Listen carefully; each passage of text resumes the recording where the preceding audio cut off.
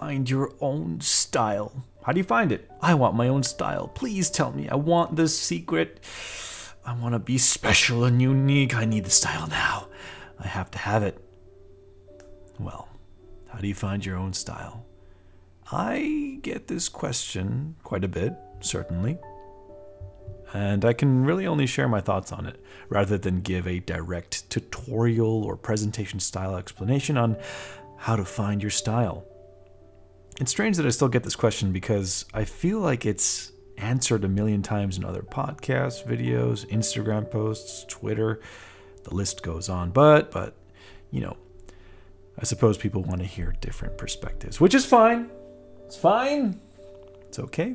All right. So, finding your own style. My thoughts. Well, let's rewind for a bit. Back to, I don't know, 2006 before I before I went to art school. It's quite the year. 2006, that's when I uh, graduated high school. Boomer! Yeah, yeah, yeah, I know. I was uh, obsessed with a lot of comic book artwork, you know, by J. Scott Campbell, Joe Mad, Michael Turner. Uh, and then later on, later on, towards the end of high school, I really fell in love with the digital painting world, especially works by like Craig Mullins, Jaime Jones, Sparth, David Letty, David, Le- David, David Levy, David Levy. Okay, I can speak. The list goes on. So, uh, really liking their work. Without YouTube or anything like that, all I could do was stare at their work and try to understand what the heck was going on. How did they paint like that? Why did they choose these colors? What is what is the exact formula to do what they do? And how do I learn it? I need it. I then was exposed to artwork by Iain McCaig, Luke Hollis, and other artists like Bjorn Hurri. Um, and I wanted to draw like them. I wanted to desperately draw like them. Wait, I, I desperately wanted to draw like them. I think that would be the correct syntax for that sentence. Anyway, moving on. Um, so I wanted to draw like them, but I also wanted to paint like, you know, Mullins and Jaime Jones and all those guys. Uh, I don't know if I was deliberately trying to make my own style, uh, but I, at the time, at the very least, I became obsessed with learning it all. So, fast forward to today, uh, well, nowadays, when I look at my work, what I see uh, is that I, I, see I see traces of, of all those artists that I studied and copied over and over again. You know, it's it's kind of strange to me because uh, often I'm told, "Yeah, when I see a, a new piece by you, I don't even have to look at the name. I know it's yours. You have a style." And I suppose I can see what they mean regarding proportions, composition, pencil work, shape design, uh, color choices, and all that stuff. Um, but where they see my quote unquote style, what I see are all the influences that I copied over and over again, all those influences coming through. Um, in a way, it's like a, like a, an amalgamation. And so when I say I feel like this has been talked about over and over again, you know, if you watch the Draftsman podcast with Stan Prokopenko and Marshall Vandruff, um, you know, they talk about this idea of art parents. You know, when you're developing your understanding and your fundamentals, like try to have art parents of like existing artwork that you like and copy it, study it, analyze it, you know, look at it reverse, like what are the color palettes? How come they use this range of values? What about, you know, the mood, the style, even the subject matter, right? So, you know, that's that's often mentioned in their podcasts. Anyway, so from 2006 till now, that's kind of the story of my quote unquote style. Uh, and the reason I'm saying all this is I don't think I was ever aiming to have some kind of unique style, like some kind of deliberate attempt to stand out as a unique something or other. Instead, I was carried by my unrelenting obsession with wanting to understand how things are done. Of course, I did go to art school to learn the fundamentals like perspective, draw through, design theory, and all that stuff, but that doesn't really teach style. It's, I think, the mileage and the influences that do that. Anyway, real quick, I do want to uh, take a look at today's sponsor from uh, Ridge Wallet. Hi. This video is brought to you by Ridge Wallet. It's light, sleek, industrial, doesn't fold awkwardly or bulge in your pocket, and it seriously changed my whole pocket situation. Most people are still using these big old clunky wallets, carrying around old receipts, gift cards, hotel keys, and so unorganized. How pathetic, I don't like it. You don't need to take up this much real estate in your pants, okay? it holds up to 12 cards plus room for cash. Got a little clip here for the cash.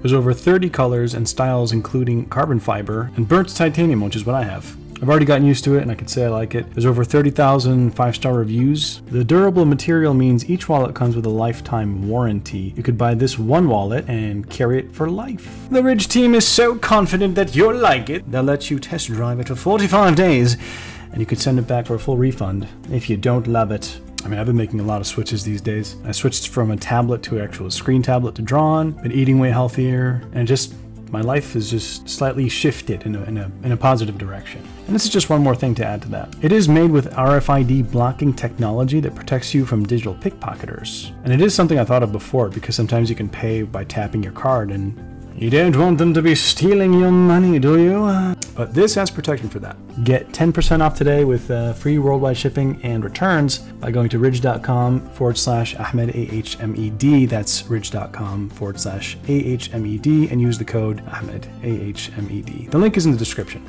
These numbers are secret. Don't look at them. And we're back. So, back to this whole topic on style. You know, I think I think this is where we have to define what style even is, and it might be different for different people. But if we just real quick hop right back into that time machine, but this time we're going to your early classrooms. You know, back where you're learning to write your first letters or whatever it is that you learned at the age of four and five. You know, it depends on what country you're in. Um, but your first alphabet, your first letters or characters or um, Arabic letters, whatever they probably weren't the most amazing calligraphy or typography, right? So, you know, instead, they're more like a, a nascent attempt at placing lines and curves to make recognizable letters and say, look, mom, I did ABC. Um, they probably probably looked like sloppy, scribbly, shaky, clear signs of early attempts. And there's nothing wrong with that. So, after many years of mileage, your handwriting ability is probably much better than your first day of school. At least I hope. I don't know. I've seen I've seen some of y'all's uh, some of y'all's handwriting. I'm just like, did you? You should probably practice more. Anyway, so you might have even written so much that your handwriting is, well, you know, nice to look at. You might even have studied uh, typography and calligraphy, which then clearly will eventually seep into your own handwriting naturally. Um, and eventually, by doing that, your handwriting will have its own style. So, to define style, at least how I would define it, would be that it's mileage plus multiple influences from different sources, external sources. These these are things you've probably heard of over and over again, right? Um, and despite all that, you may still feel this extremely desperate yearning to immediately have a unique and special style. And if you feel that, my advice to you, well, it's to forego even wanting to have unique style. Forget it. Just move on. Don't focus on that. Instead, direct your attention to increasing the mileage of drawing, studying the fundamentals, learning new things, and allowing multiple influences to seep through. Study your favorite artists, copy their work over and over again. Perhaps include a wild card if you're a 2D illustrator or you know a drafts uh, drafts person. Um, perhaps study some artwork that you don't particularly like, but you know you might learn something from, like very old ancient tapestries you know, Mongolian something or other. I don't know. Just find something, draw it, see what happens. You never know uh, how you personally would interpret those things and how those things would show up in your own work. You know, if you do that over a period of time, what ends up happening is uh, suddenly people will be coming to you asking you, please tell me how to find my style. In which case, uh, when they ask you that, direct them to this video so that I get more views. All right, yeah. but yeah, th- that's just my quick thoughts on on the topic. As uh, recently the question was brought up, and I thought I'd talk about it and show some some uh, scribbles here on YouTube. Anyway, thanks for watching. Let me know what you think about finding your own style down in the comments. Um, and enjoy your day.